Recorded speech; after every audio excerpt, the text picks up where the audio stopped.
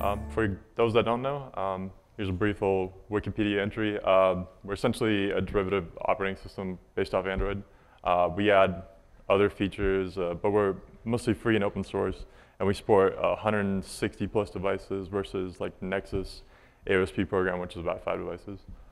Um, our contributor base is massive. As you can see the SID head over here. Uh, every single line in there is a name of contributor over the past uh, five years. Um, in total, we have about 1,253 contributors. That's as of August, uh, with about 47,000 commits that's not in AOSP. Um, so it's quite a large delta. Um, but essentially what we do is crowdsource Android development. Um, we get community changes that are incoming. Um, we roll them into our nightly release builds, and those actually ship on devices every single night. Uh, today, however, we're going to be talking about how this delta grew a little too large and became a little bit unmanageable. Um, first, we're going to be talking about our TreeHacks hackathon learnings. Um, we went to a Stanford hackathon. We learned a lot of things that we were a little bit ignorant about. Um, we realized that OS and framework development is really intimidating. Um, there's a lot of work, few rewards, and essentially we came up with a solution that can help us get through it. So.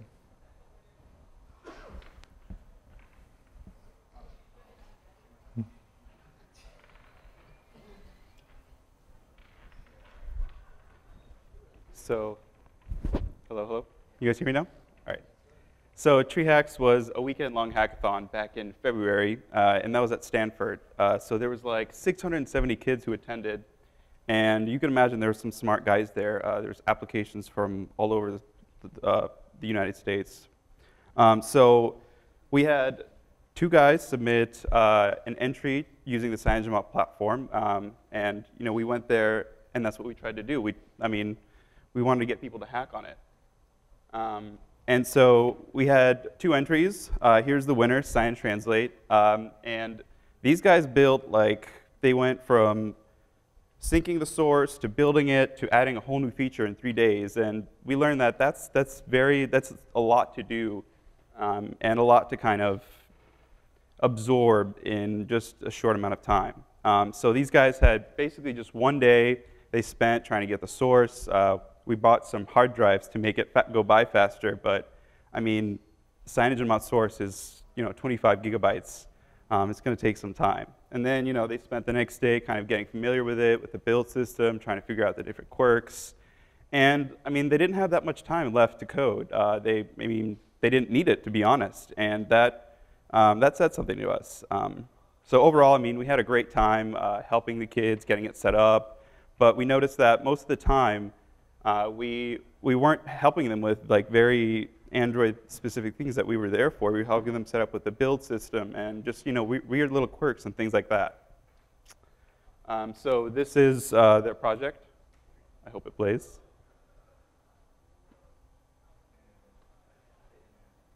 There you go.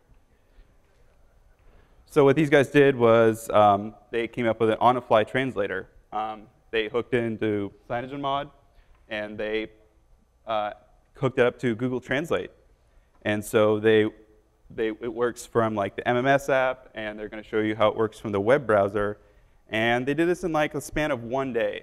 Um, so, next slide. So we got a, a lot of feedback from these guys, and it was, it was great. Um, they love the open platform. They love that you know they could just go and contribute to our Gerrit and see all the submissions and you know everything's on GitHub. They can go sync. They can go look at the code. Uh, we even have some you know documentation that helped them get started. Um, but it wasn't enough. Um, but some of the some of the downsides that we saw was that I mean is it took them way too long to get started. Um, and and that's something we took to heart. We want to fix this. Um, it's a huge code base. That's 25 gigs of source, then you have another 50 when you're building, and then there's you know 100 plus just you know packages you just have to look at, and it's, it's a ton of code. Um, and the thing is, is the barrier of entry is just, it doesn't have to be that high. Um, and we really tried. Uh, like, we took this feedback to heart, And we went and we asked ourselves, we came up with these questions on how do we improve this experience. Uh, we wanted to decrease the barrier to entry to allow these kids to not have to have all this tribal knowledge of how the platform works uh, to submit a feature. Um, we wanted to help streamline the process and formalize it on how people contribute to us. And also, we wanted to kind of stabilize our own interfaces inside. Like, if we wanted to use our own features, we could, but you know, what if uh, it, it, kind of the versioning's changed, and what if we changed something on the device we shipped, and our code didn't? You know, we, we didn't have these things figured out quite properly. So, I mean, this is the moral of the story. OS development is intimidating. I mean, if if you've ever managed to include a fully functioning interface, you'd be one of the few people who understood the process, and from like a full spec, stack perspective, and that's that's kind of a hard thing to do. Um, so one of these biggest features in CyanogenMod uh, was uh, the profiles contribution. So profiles was added by Martin Long in 2014, and profiles, it, you could essentially register for specific events in the system, and then you could configure your device to react to them, right? So for example, um, here's an example of a user creating an action to be triggered by an event. So specifically the event being a Wi-Fi SSID connect event.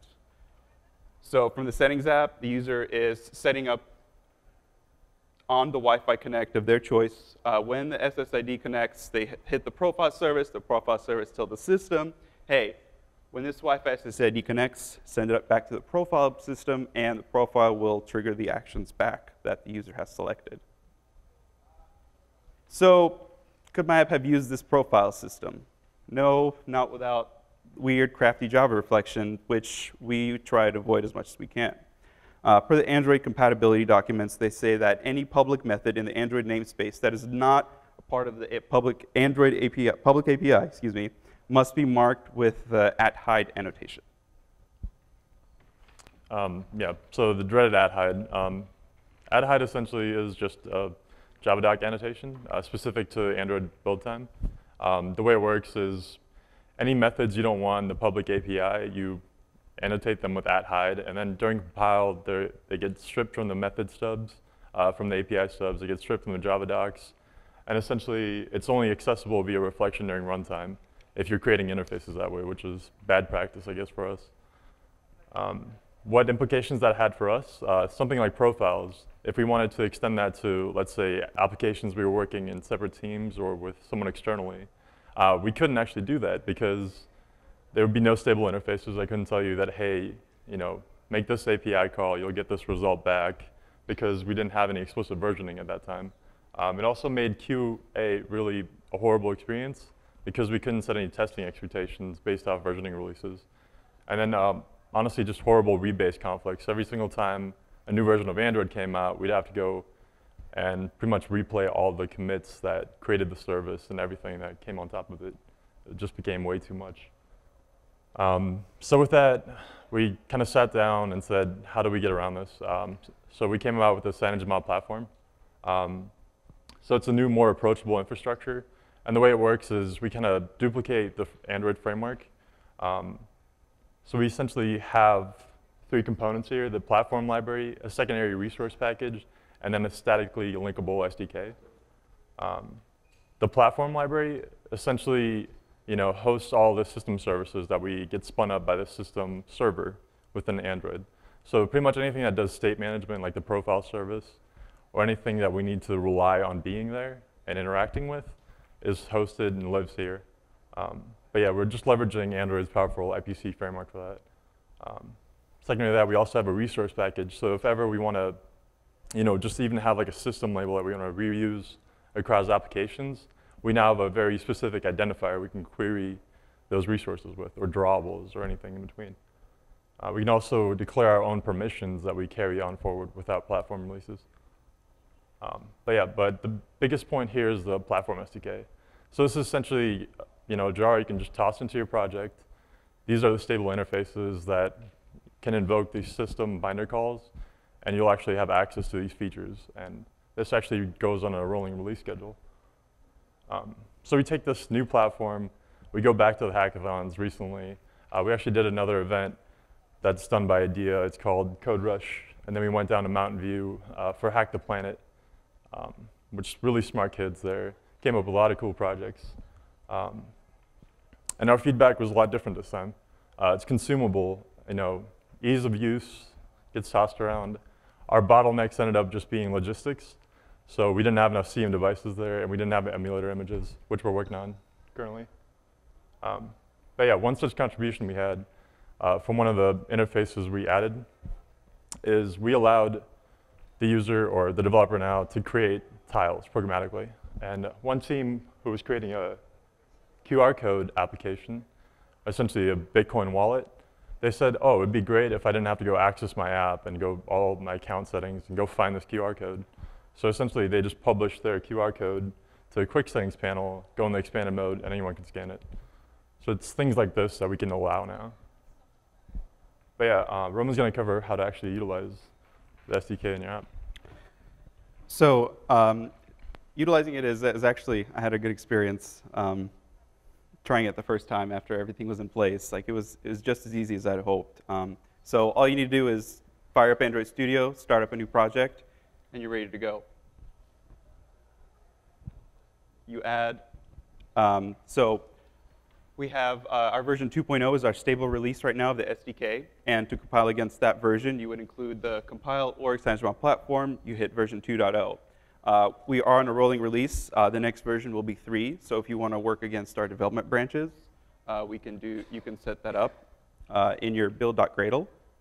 Um, and now you can use the SDK. Uh, all you have to do is define the dependency in your build.gradle, and Maven will pull it down, sync it, and you can hit our SDKs. Uh, so I'm going to jump right into the code here of how to add a custom tile. Um, so this works very similarly how you would post a notification. Uh, so when you think, uh, when you click a notification, an intent gets fired. And so the first thing we do is we need a pending intent to wrap it. And you can see I'm creating a new intent there with a custom action that I'll be listening for later on and I can respond to. Uh, then I use a, the custom tile builder uh, to create the tile. Uh, I give it the label, the icon. I tell it I want it to collapse after I click it uh, for my specific use case. And then the last thing uh, is I can just tell the CM status bar manager to go, hey, publish this tile. Um, I give it a unique identifier with, within my app, and it will show up. Uh, on the other end, responding to a click of the tile, you define that listener that uh, in the Android manifest that listens to the action which I defined in the intent in the previous slide. And then in the code, all it, it's doing is it just removes itself. Uh, you can come up with whatever you want, use your imagination. There's so many things you can do. Now, I kind of want to bring this back to the profiles. Um, so CyanogenMod ships with three profiles by default.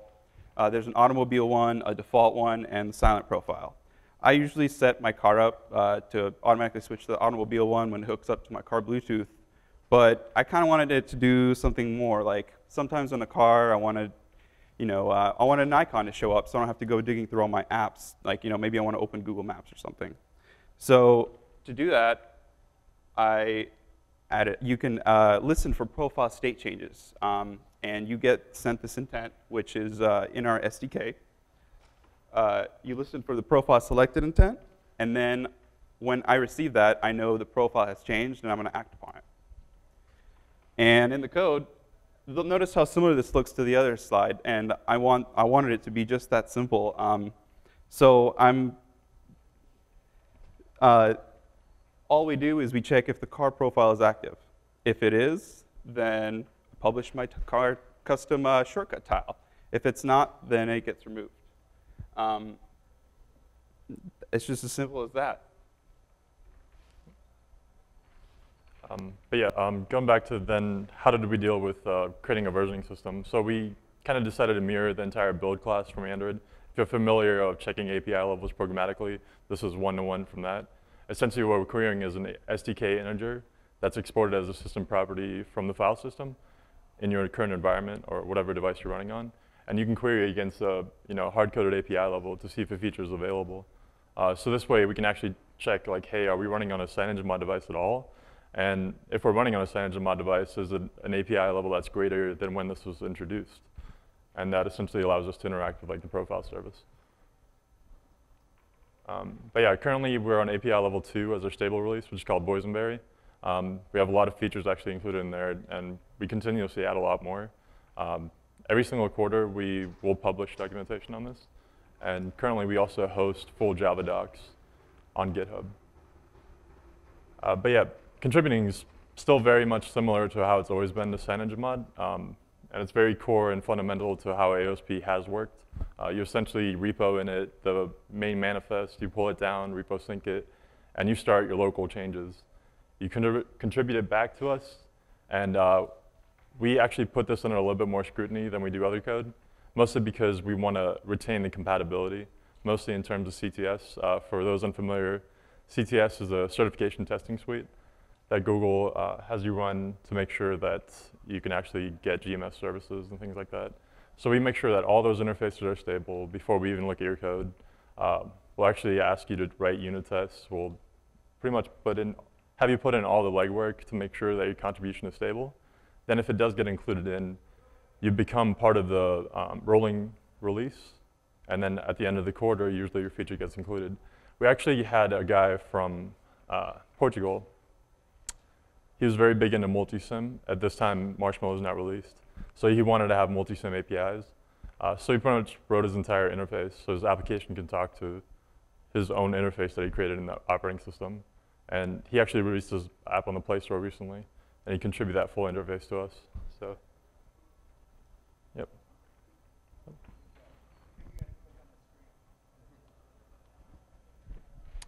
Yep. Um, but for now, I'm going to open up the floor for uh, questions, if anyone's got some.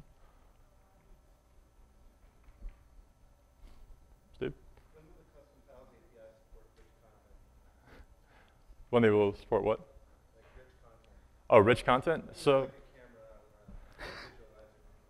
you know more than the people in this Working room. in progress. Um, so uh, on a staging branch right now, we have a pretty cool feature. Essentially, lets you render an external processes uh, or external processes surface within a view container in your hierarchy.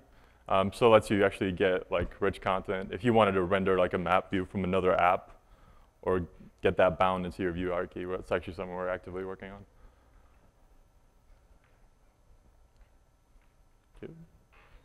So uh, I have uh, I put up some samples for my code that I have. It'll actually run and it'll actually publish a tile that you can play with. Um, here, the link is down there, the bit.ly link. And the CMSDK, it's got a wiki. Uh, I encourage you to go there.